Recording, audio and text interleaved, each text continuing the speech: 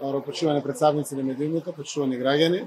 Задоволство е да се присуствува на вака величествен начин, на величествен настан кој што има богата историја и традиција, а тоа е Ротари клубот од дистрикот 1912,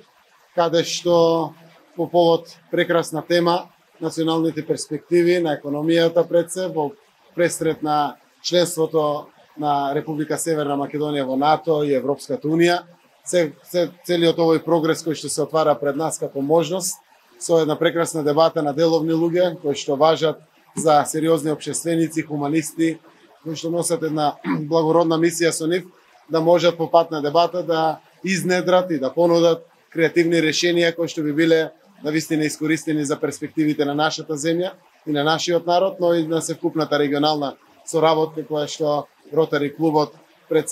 Северна Македонија, но и Словенија го имаат како децениско искуство, вака утврдено повеќе од 90 години. За, за мене е чест и задоволство да бидам присутен на отворањето на една ваква конференција. Овде се присутни високи обшественици, наши деловни луѓе, луѓе хуманисти, кои што досега се веќе докажани, а впрочем тие се и дел од она огромна движечка сила која што нас, нашата земја има. Главната поента, според мене, во моето враќање беше тоа што